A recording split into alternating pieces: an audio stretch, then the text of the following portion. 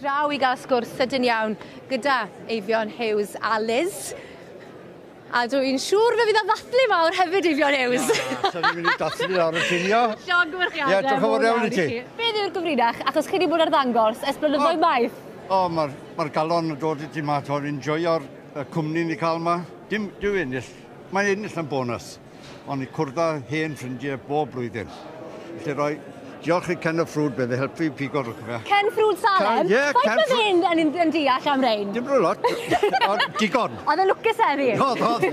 A Liz, pwy sy'n gwneud y gwaith caled o baratoi? Y Ddoi yn i. O, warai ti. Combined effort. Ie, wel, llonwchiadau mowr iawn i chi. Rhaid yn deall ar y map. Ie, iawn. Pob lwc. Pob lwb.